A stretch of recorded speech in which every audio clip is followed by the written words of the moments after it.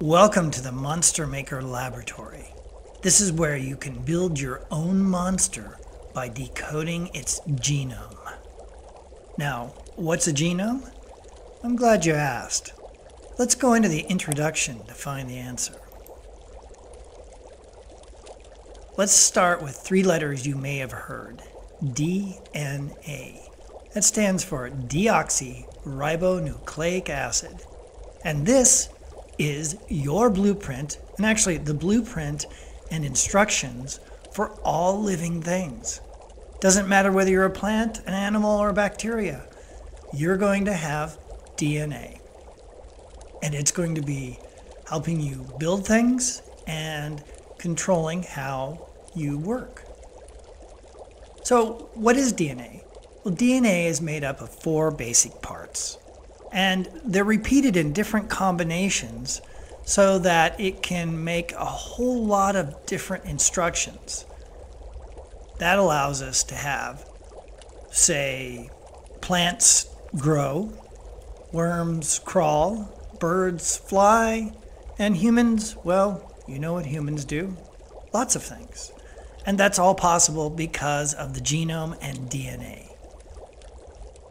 For monster DNA, our scientists have discovered the genome to build monsters.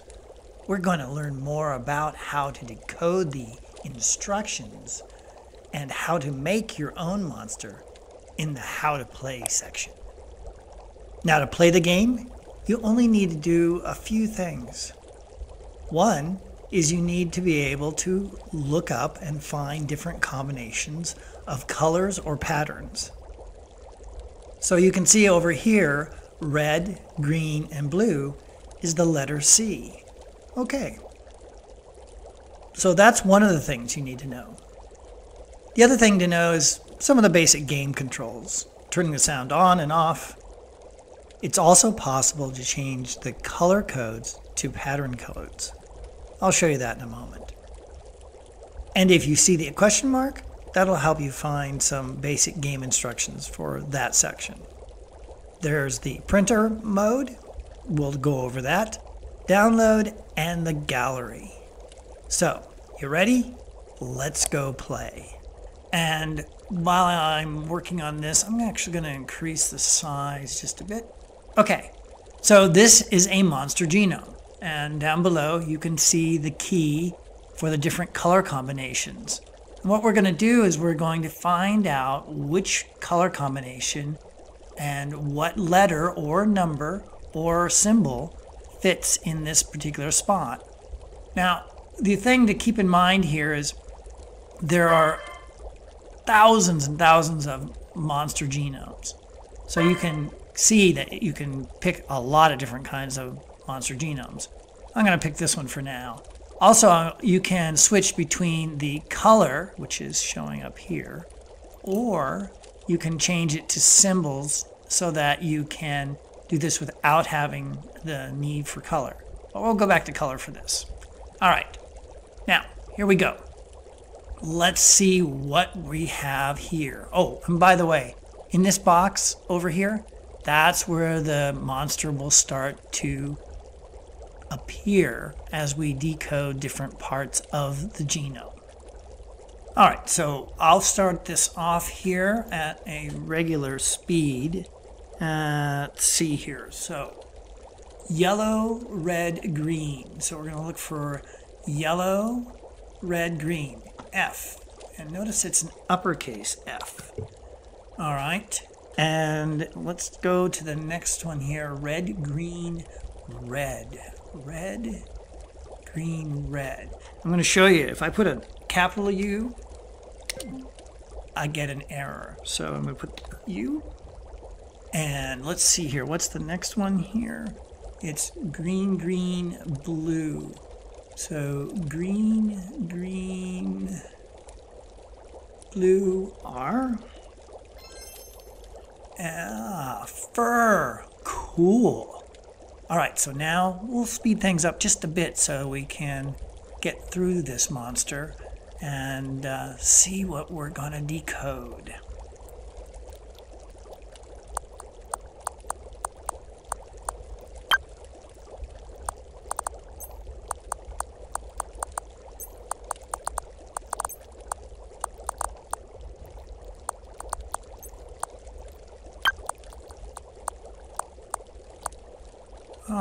Now we're down to a few more here. It's like G and yellow, yellow, red. All right, success. Wow, now that is a cool monster and one that I have never seen. So let's give it a name. Let's see here. How about Harry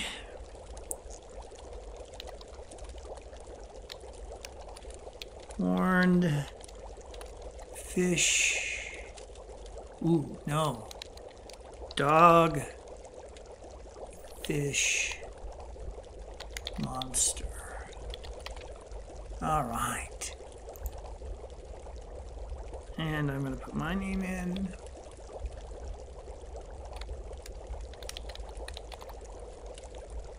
All right. Now that we've done that, we will want to go ahead and there's some options. First of all, we'll want to add it to the gallery. All right, so we add it to the gallery. That's one thing, and we'll go look at that in just a bit. And then we can go ahead and save the image. I'm just going to save it as a JPEG. And now if I look down here, I can open this up and look at my monster. There it is, saved as an image. So if I want to use it, I can now go back out and I could print it. And if I want to print it, I can print it with the genome. I can print it with the monster only, or I can print it as a monster coloring page. And that's pretty cool because you can pick your own colors and add your own flair to your monster that's been decoded.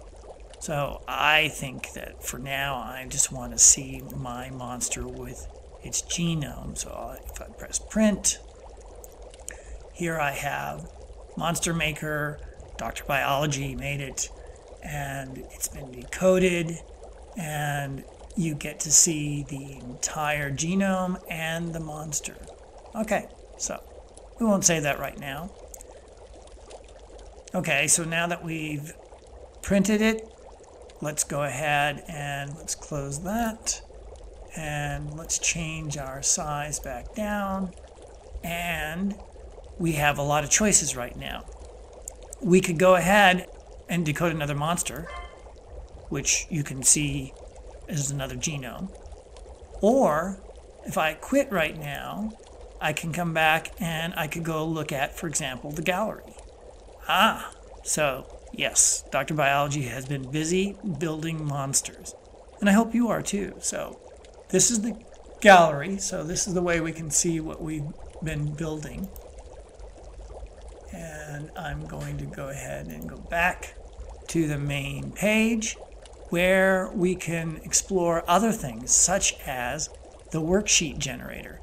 Now this is fun because maybe you want to work on paper Maybe you're teaching a class and you want a set of monster worksheets. You can go ahead and do that. I'm going to just pick three just so you can see what happens. And if I'm teaching, I would certainly like to have the answer key.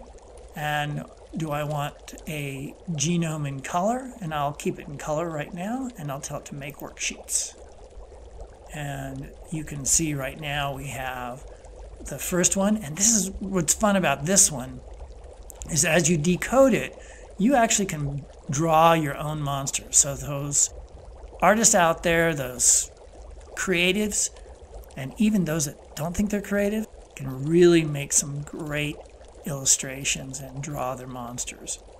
So this is the monster and the, the uh, answer key and another genome and the answer key. All right. So let's go back. And the final thing to mention is that you can explore more about monsters and DNA and genomes by going to Monster Manual.